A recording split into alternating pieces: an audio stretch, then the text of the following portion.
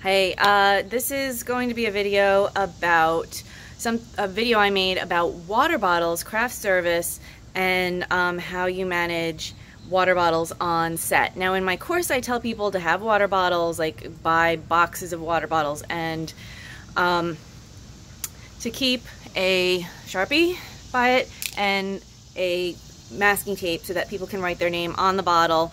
Or well I didn't say masking tape but this is gonna be we're gonna talk about this in a minute. So that was a few years ago and even at that point I was reluctant to say get water bottles because there are too many plastic water bottles being disposed of. So this is a little bit of a PSA and another workaround. And the advantages to a workaround for this even uh, for the producer. So uh, what I recommend there are two things you can do. You can ask people, can you bring your own bottle? And we will give you some masking tape and you can write your name on it so that we'll have a station for filling your water and just make sure it's a sealable bottle that doesn't leak. In case it tips over because you don't want it to uh, get on equipment or an actor's outfit or something like that or a hot set. So this is what you would do for you know, just have somebody put a masking tape on. The other thing you could do, depending on your budget, is, and I've seen this and I've experienced it too, where you get maybe a mug where it's very sealable, like, you know, a plastic drinking vessel like this, or I, I have one from a store called Wegmans, which um, if you tip it over, it's not going to spill. It does because I've done it. I've done it a ton of times, and if it's sealed, it won't spill water so or coffee or whatever you have in there so that's probably good because people tend to drink coffee on set as well as water so then you're not using all this disposable stuff on set. That saves you money with disposables it saves you money on water bottles because here's the most irritating thing it's not the most irritating thing but it's super annoying to have somebody drink that much water from a regular water bottle and then you're throwing it out and they didn't write their name on it and or it's a one day shoot and still they're like not taking it home with them. They're just wasted a bottle and a ton of water.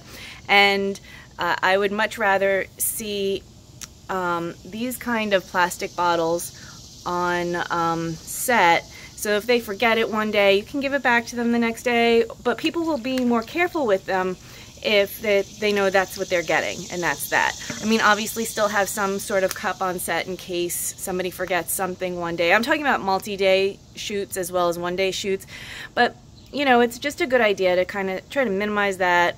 It saves you money, it helps the planet and then they get to walk away with if you get them a mug that says like such and such you know movie then it says you know it like lets them be like kind of put it out there as like yeah it's a conversation starter for them. It puts your movie and your name of your movie out there more. Maybe if they go to screenings i don't know like they'll be drinking that in the movie theater instead of again buying another water bottle. And it encourages people to you know continue to reuse you know, a drinking vessel rather than buying water bottles, buying water bottles. And, you know, if it is a one-day shoot and people forget it, just make sure you get back to them and give it back to them if they forget it. Most people are pretty good about that, though. If it's theirs and if it's a high-quality thing, they are going to be more aware of that. So I just wanted to share that because and I'm going to still leave that lesson up, but I'm adding this to the course because um, it's something that I think is really important that we stop using plastic as much as possible and be aware of that. And if you're somebody who is a crew member, I'm going to encourage you, if your set is only having disposable water bottles, bring your bottle put your name on it and or i mean it should, if it's like a distinctive bottle you shouldn't even need to but just be like just make sure it doesn't leak and just keep it somewhere safe and, and remember it at the end of the day. And then you can help be a part of minimizing plastic in this world. So I am just putting that out there and I thank you for listening to my environmental, you know, talk. Because seriously, I'm just going to finish up by saying, um, sorry about my thumb, I'm going to finish up by saying, I, uh, have worked on sets, really big sets, where there's so much waste on sets, okay? Where it's just insane. I'm sorry I keep doing that. Um, I should be using my handhold, right? That I reviewed a few days ago, and I'm not. Um, like food gets tossed. It is legally, it is illegal in California if you're working for, say, ABC. Um, I was, uh, that was like my first job out in LA, and it was like, um, you know, I was like not working for much. I was an assistant to an actress. And um, you know I could have they tossed out a bunch of gorgeous sushi. And, um, and they had to legally. They couldn't let me or any other PA take it home. They had to toss it.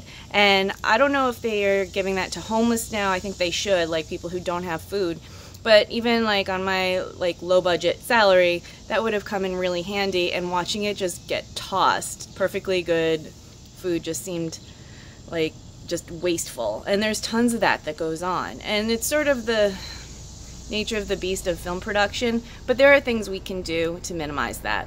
And that's all I'm going to say today.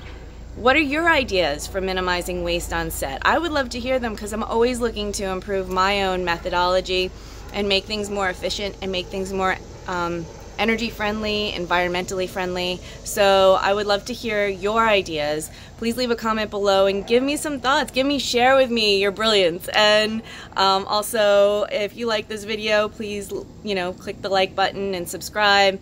And thank you for watching. I will see you soon.